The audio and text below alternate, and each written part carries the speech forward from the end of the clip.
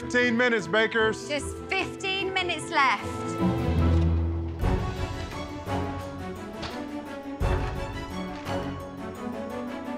A couple of them are a little wonky. While Marissa waits for her last batch of pastry to puff, the rest of the bakers begin to assemble their canapes.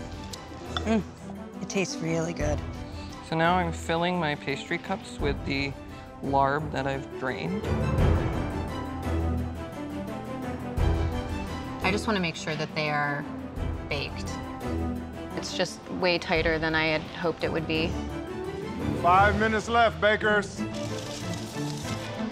think they're cooked through. These are my sausage and rapini puffs. They look pretty good.